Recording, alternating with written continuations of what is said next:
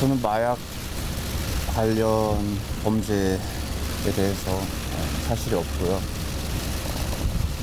그걸 밝히려고 사실 이 자리에 온 거니까 네.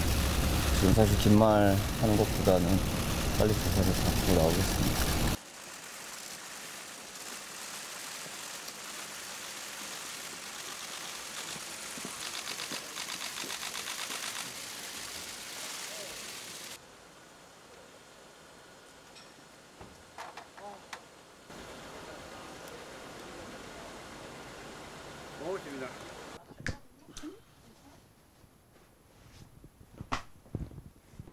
한 번에 이 음악을 설명하기 위한 도구일 뿐인데 아, 꽃가루 좀. 어 그건 안 나. 꽃가루 나. 약이 없구나. 네. 내가 더안 하고 있어요. 아니야.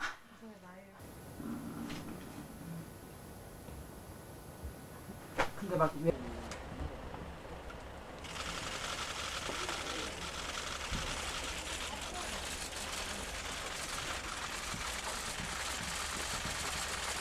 아, 예, 많은 분들께 심리업 끼쳐드린 점 다시 한번 진심으로 사과드립니다.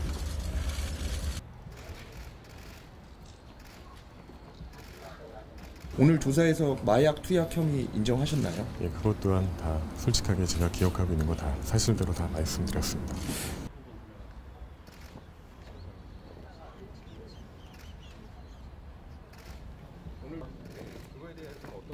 Et